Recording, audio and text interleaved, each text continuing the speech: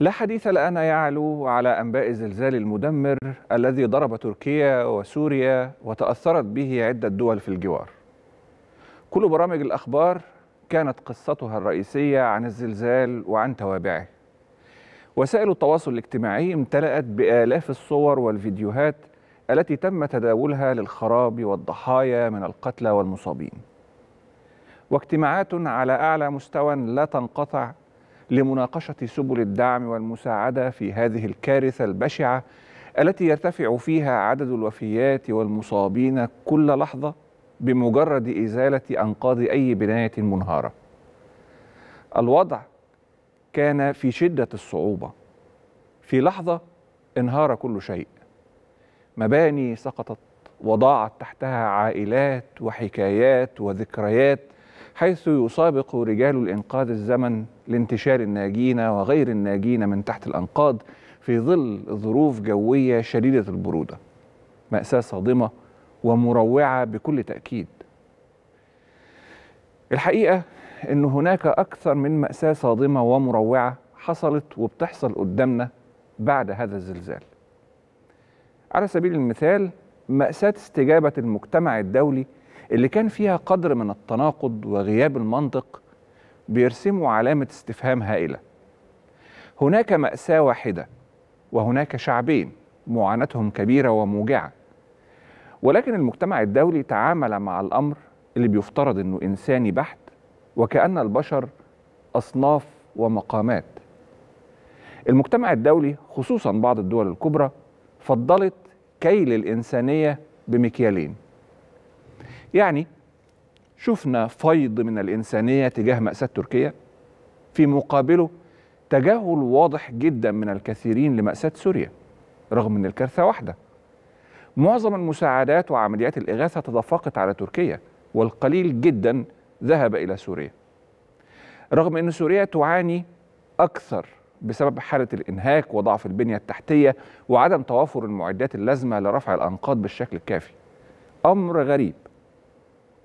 أمر غريب جدا إنه بعض الدول وبعض المنظمات اللي بتقدم الإغاثة تجاهلت مد يد المساعدة إلى سوريا بحجة وجود عقوبات مفروضة عليها لأسباب سياسية. وكأن الإنسانية لا يمكنها في أي حال أن تتجاوز أي ما هو سياسي. الاسف على سقوط الضحايا والمسارعه في إنقاذ حياة الناس هو شعور إنساني طبيعي. بغض النظر عن أي شيء آخر ليست هناك حسابات وليست هناك اعتبارات سوى الإنسانية. هذا ما يجب أن تشعر به إذا كانت هناك حرائق في كاليفورنيا أو تسونامي في الفلبين أو بركان في أيسلندا أو زلزال في تركيا وسوريا. الإنسانية لا تتعلق بنوعية الضحايا ولا لونهم ولا جنسيتهم. علشان كده لا يسعنا إلا إننا في المقابل نشير إلى مواقف الدول اللي قررت إنها تجنب السياسة تماما وتقف بجانب الشعوب. الدولة المصرية من أول يوم قررت منح المساعدات للشعبين السوري والتركي وسيرت خمس طائرات نقل عسكرية محملة بكميات كبيرة من الأدوية والمستلزمات الطبية إلى أبناء الشعبين السوري والتركي في محنتهم ومساعدتهم في تخفيف آثار الزلزال المدمر. موقف محترم ومشرف ومتوقع لأنه يتسق مع سياسة الدولة المصرية التي تتعامل بمنتهى الأخوة في الأزمات مع الجميع وتحاول مساعدة الأشقاء والأصدقاء في وقت الضيق. وبجانب مصر ظهرت مساعدات عربية. الإمارات العربية المتحدة على سبيل المثال قدمت 100 مليون دولار لإغاثة المتضررين من الزلزال مناصفة بين تركيا وسوريا. المملكة العربية السعودية أمرت بتسيير جسر جوي وتقديم مساعدات لضحايا الزلزال في سوريا وتركيا. معا. والأمر نفسه في سلطنة عمان والبحرين والجزائر وتونس والأردن. ولكن ما زالت سوريا بحاجة إلى دعم أكبر لدرجة أنها تقدمت بطلب مساعدة رسمي للاتحاد الأوروبي. والاتحاد الأوروبي وافق بعد مرور يومين على الكارثة وبعد أن تأكد أن واشنطن لن تعرقل إغاثة سوريا. كمان الأمم المتحدة انتظرت 60 ساعة بعد حدوث الزلزال علشان توجه دعوة إلى وضع السياسة جانبا في إغاثة المناطق السورية المنكوبة. 60 ساعة. التناقض الأكثر غرابة الحقيقة كان من الناس على السوشيال ميديا. شاهدناه من بعض المدعين بإن الزلزال جاء نتيجة لغضب إلهي وإنه جاء تكفيرا للذنوب وإنه دليل على انتشار المعاصي.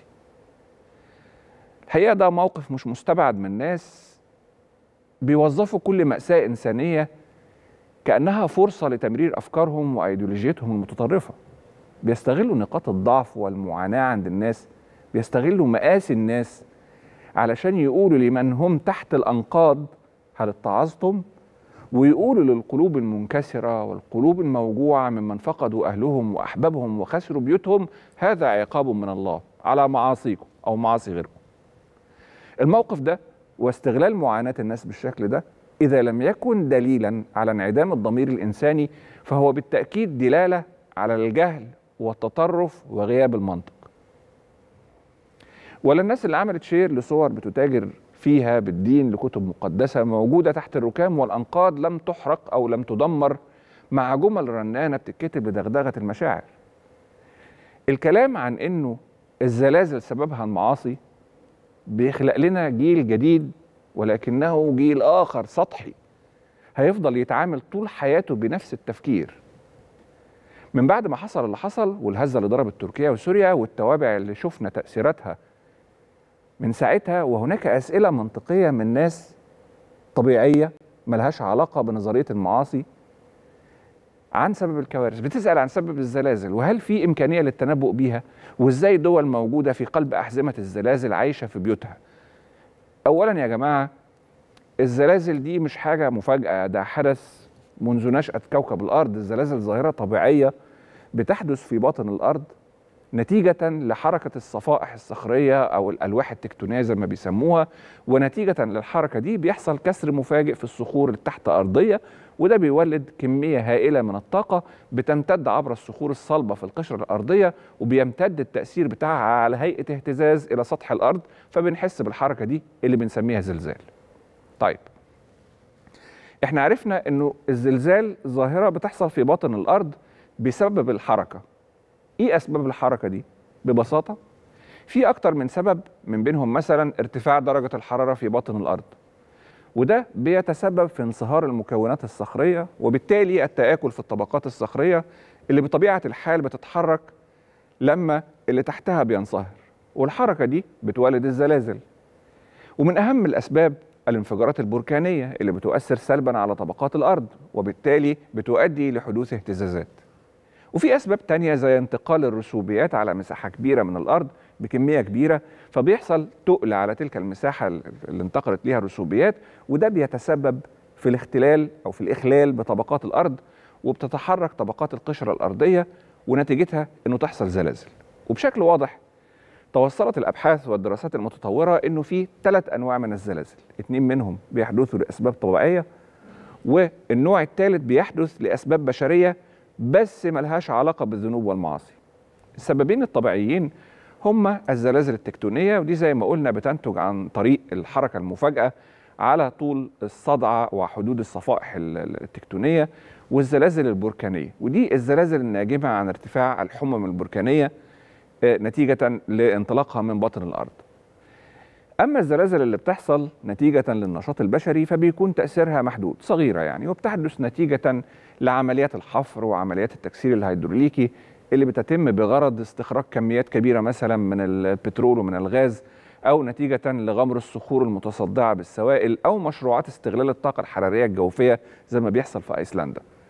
والحاجات دي أو هذه الأنشطة البشرية بتؤدي إلى الإخلال بتوازن القوى الضغط على القشرة الأرضية ومن ثم بتؤدي لزياده وتيرة الزلازل. ده حصل قبل كده في مدينة بوهانج بكوريا الجنوبية في نوفمبر 2017 حصل زلزال بقوة 5.5 من عشرة ريختر والتحقيقات أثبتت إنه حصل نتيجة لعمليات الحفر في مشروع لتوليد الكهرباء من الطاقة الحرارية الجوفية. على فكرة المناطق اللي بتلتقي فيها الصفائح الأرضية أو الألواح التكتونية معروفة. وهي نفس مناطق الأنشطة الزلزالية علشان كده بيسموا المناطق دي أحزمة الزلازل. ودي موجودة منذ تصلب القشرة الأرضية ومنذ ظهور اليابسة على كوكب الأرض وهتستمر حتى نهاية الكوكب.